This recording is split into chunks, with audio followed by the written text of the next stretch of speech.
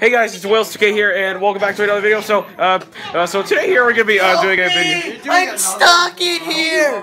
So, uh, uh, all my friends are here for my party. We got King, Yeah, we got Angelo, I have we that. got Wait, Lee. you do actually do vlogs. What? Hey, it's my party. Hey.